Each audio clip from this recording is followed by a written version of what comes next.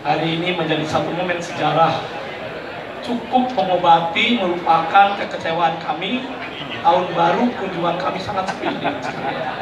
Alhamdulillah hari ini menjadi bahagia kembali, menjadi senang kembali. Karena hari ini akan launching kereta api dengan nama istimewa kereta api Pangandaran.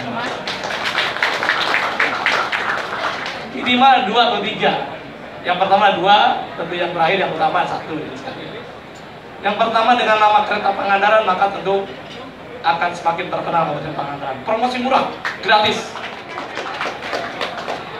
Yang kedua tentu ada kepastian orang ke Pangandaran. Kalau kemarin naik apa ke Pangandaran, hanya Budiman, CCR, sekarang ada angkutan massal, namanya kereta api Pangandaran. Sehingga ada kepastian sekalian. Tinggal nanti tentu collecting, nanti kami akan koordinasi dengan kepala stasiun Banjar untuk connecting dari Banjar ke Pangandaran ya sekalian. Pak Gubernur telah memberikan bis, mungkin itu akan kita gunakan untuk menjadi connecting ini. Yang ketiga ini tanda-tanda zaman, Pangandaran akan semakin maju. Ini tanda-tanda kebahagiaan. Kami yang sedang berbenah, kami yang sedang menata, hari ini akan ada kepastian jalur pengaktifan kembali Pangandaran Banjar kayaknya akan segera dimulai oleh PT Kereta Api ya saya.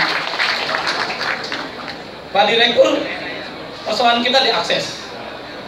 Bandung jauh, belum macet dan lain sebagainya. Sehingga kalau kereta api sampai dengan Pangandaran, itu akan sangat mengangkat pariwisata di Pangandaran dan di Jawa Barat. Bu Wali tenang, pasti mampir dulu di Banjar. kan begitu ya. Jadi tentu menjadi satu kerjasama yang sangat baik dan mudah-mudahan kita semua diberikan Allah Subhanahu Wa Taala. Hadirin yang saya hormati, ada satu permohonan kami, kalau bisa kami beri kesempatan untuk membranding ini dengan view pemandangan yang ada di Kabupaten Pangandaran dan sekalian.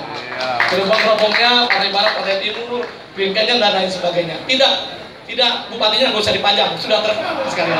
Terima kasih, bila itu Wassalamualaikum warahmatullahi wabarakatuh. Waalaikumsalam warahmatullahi